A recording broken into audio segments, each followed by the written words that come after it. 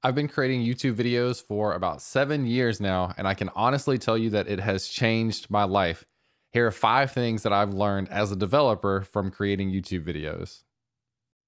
All right, so as I said, I've been creating YouTube videos for several years now, and when I started, I didn't really know what I was doing. I wasn't I didn't have a vision of becoming a YouTuber. I just wanted to put a video or a series of videos out that other people could reference. I was giving these workshops and I was explaining the same things over and over again, and I figured instead of uh, instead of people getting behind and having to ask me questions, why don't I just point them to a video? It'd be that much easier. And if I do a group of 30 people, they could all individually go and watch the videos. So that's really where it started. And then I had uh, at Microsoft at my job uh, when I started out of college. After doing that, people kind of saw that that was little, that was kind of successful, and I ended up doing more videos and different um, different reasons and different types of videos. Anyway, I kind of left that alone in the last three years, I've really taken this YouTube channel seriously. I've really been consistent and I've really learned a ton. I mean, so much. I can't tell you how much of an impact it's had on my career. I wouldn't be a developer advocate today if I didn't have a YouTube channel that I could say, like, you're looking for someone to be an advocate to create content. Well, here's my YouTube channel full of 100 videos or 200 videos that I've done uh, to show you that I know how to do this stuff. So it's influenced my career, the things I've learned, uh, the actual jobs that I've had, stuff like that. So I want to show you the five things that I've learned uh, from creating YouTube videos. The last thing I want to tell you about first is I have a YouTube for developers ebook. So everything that you want to know about creating YouTube uh, videos and getting started with creating YouTube videos and the why behind it. So kind of uh, an extra insight or more insight on top of what you'll see today. Uh, YouTubefordevelopers.com. You can check out that ebook for 10 bucks. Uh, link below in the description if you're interested in checking it out as well.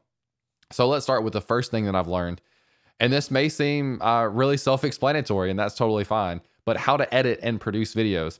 And this is not, uh, this is actually a pretty uh, interesting, deep topic where it's, it's not just about uh, sitting in front of a camera and telling you what to do. There's a lot of preparation that goes inside of that.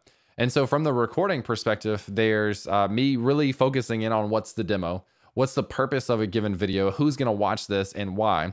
And what do I want to make sure that I get across in this video? Obviously, in, in this specific video, I, I took notes on here are the five things that I've learned, here are the individual details of that to make sure that I get those across to you.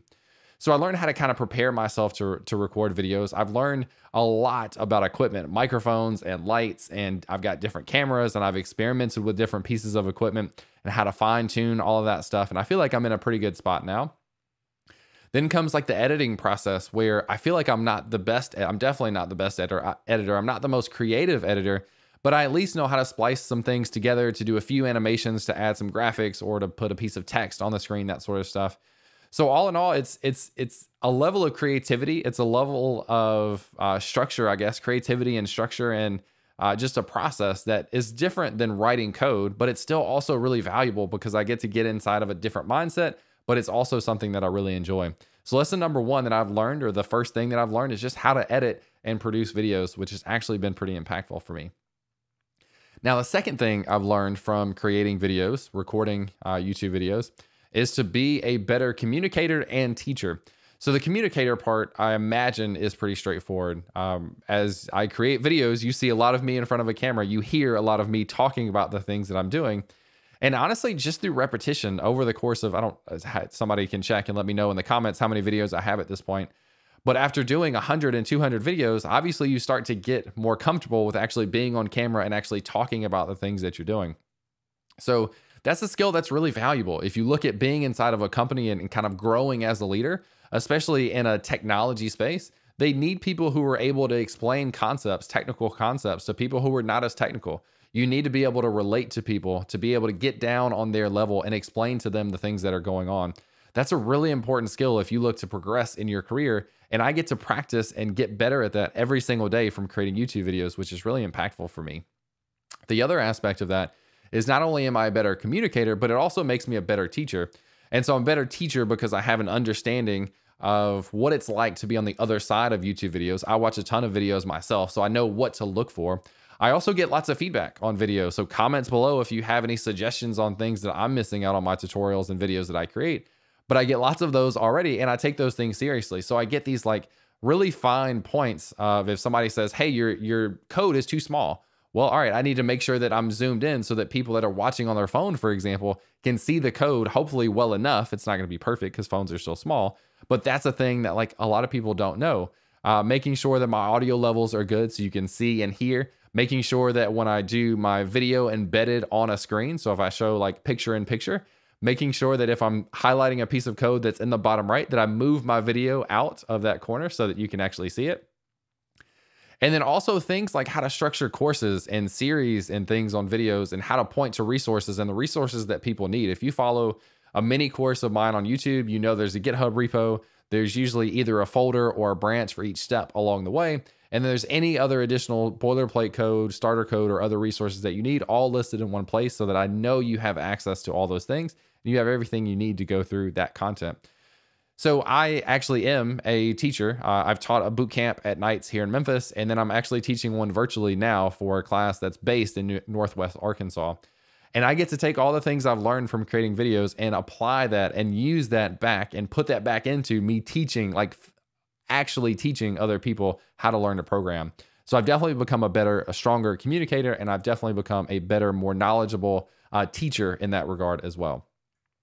Now, the next thing up is uh, maybe, I don't know if you really think about this perspective or not, but with creating YouTube videos, I don't just create YouTube videos on things that I already know 100%. I sign myself up mentally or like I record it in my backlog to do topics that I either don't know yet or uh, don't know that well or things like that so that I can force myself to learn new technologies.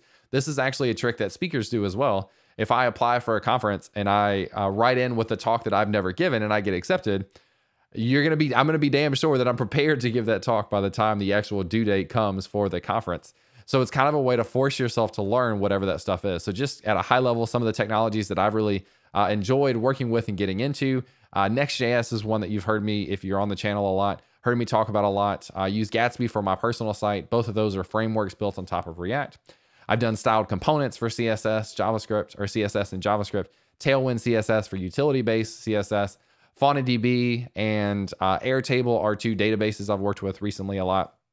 Cloudinary for media management, storage, and optimization on images and videos and that sort of stuff. I've learned a lot about VS Code and configurations and settings and extensions because I've created a lot of content around that. So by me creating videos, by me forcing myself to create videos on topics that I don't yet know or don't yet know that well, I get to learn about all these different technologies, which makes me that much more knowledgeable of the ecosystem of just web development. I know I may not know how to do everything, but I know a lot about the different pieces that are out there, and I could then put them together just from having that breadth of knowledge across the different spaces that are out there. So then my my fourth lesson, the fourth thing I've learned is how to market myself and my content. And this is something that I, one I'm still learning. So I've learned how to do it, not that I'm done learning how to do it. I've got a lot more to learn but it's something that's not necessarily natural for me. When I create a YouTube video, it's not necessarily natural for me to go on Twitter and then share it. It's not natural for me to send it in a newsletter. It's not natural for me to send it on LinkedIn and that sort of stuff. And the reason is some of it you don't want to you don't want to feel like you're trying to push stuff on people. You don't want to feel salesy, but also your videos are not going to get viewed and your your materials, your content is not going to get viewed if you don't share it and if other people don't share it for you. So I've learned how to get better at that, how to feel more comfortable, how to share things on Twitter in a more creative way that people actually respond to, how to include my content in newsletters. People follow my newsletter because they want to follow the things that I do and the things that I have to say. So I include videos at the bottom of my newsletter, which you can sign up for at jamesqquick.com slash newsletter if you're interested. And so I've, I've become more comfortable with that. I've become better at social media. I've become better at being consistent and engaged on Twitter and just being like a genuine member of community. And by doing that, people trust the, the content that I put out. So again, it's not it's not natural to be able to do this for me, but it's something I'm learning, and especially with the goal of of making money off of content. I've already done a few courses. I've made a decent amount of money, which is really cool. But really the next level of that content is me being able to market and and ship it in a way that you look at it and you say that's the thing that I really want to invest my money in. And I feel like I've done some of that, but I can get a whole lot better. And that's where I see the people who do this for a living, I feel like they do that part better than me, and that's one of the biggest gaps for me of trying to continue to work on how do I market? How do I learn about all the ins and outs of marketing and ads and, and all this sort of stuff to, to really push content in a way that people will find useful, I hope. So that's been really cool for me. It's something I'm a little uncomfortable with, but I've certainly learned a ton along the way with content in general, but especially with my YouTube videos. Now, the last part of this is kind of similar to that. It's the idea of how to be an entrepreneur, how to embrace that entrepreneur entrepreneurial mindset. And what I mean is now I have YouTube videos, but I also am doing sponsored YouTube videos. People are reaching out for me to me to do sponsor videos or sponsor blog posts, which means I get money for that, right? And I'm pretty picky about the sponsors that I take. I don't take sponsors for things, technologies, companies that I don't believe in. So if you see a sponsored video from me, it's because I actually believe in the stuff that I'm recording and I believe in that technology. It may not be the thing that I use all the time, but I believe in that as being a very viable option that you should know about and you should be able to gauge whether or not you want to use.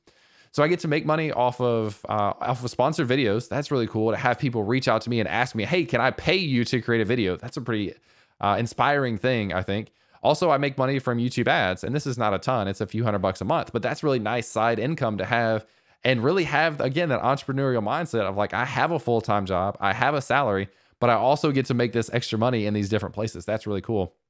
And the last part of that is being an entrepreneurial in terms of having paid content. So I've got a couple of courses. I mentioned the YouTube for Developers ebook for 10 bucks. If you want to learn everything that I know about YouTube, how to get started, and more of these kind of details uh, and why you should get started, uh, check out the YouTube for Developers ebook at youtubefordevelopers.com, link below as well that's a way for me to make money. I also have my React and serverless course. You can check that out. I also have my VS Code course, which is on Udemy.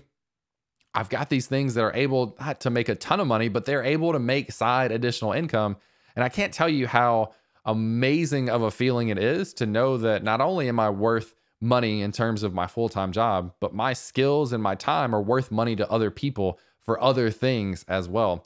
And I, I like every time I see somebody buy something that I've put out, it's such an amazing feeling. Every time a sponsor reaches out or someone reaches out to sponsor a video, that's such a flattering thing. And now I have this mindset of I can make money. I can not only make money for other people by working for a company, I can also work or work for myself. I can also make money for myself by creating the content that I do.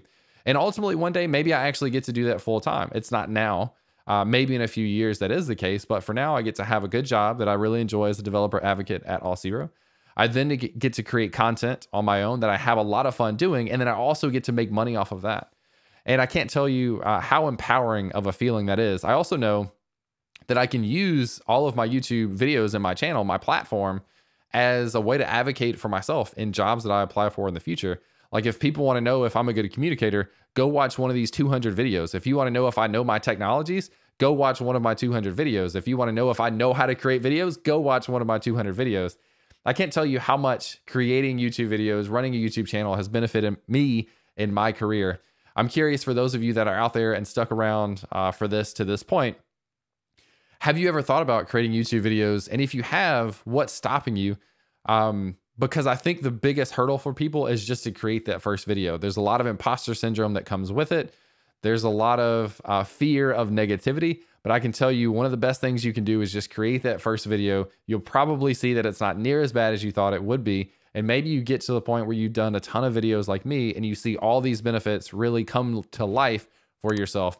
So if that is uh, interesting for you, check out YouTube for developers.com for the ebook. I'd love to have you read that and, and give any feedback on that as well. Leave comments below if you are interested or if you have started a YouTube channel, how that's been for you or what you expect it to be like for you or what you would like to learn in your YouTube channel. Anyways, thanks for uh, checking out the video, letting me rant a little bit about my experience on YouTube. I appreciate it as always. If you enjoyed it, like it, subscribe to the channel. Hopefully, I'll see you in future videos. But for now, I'll catch you later.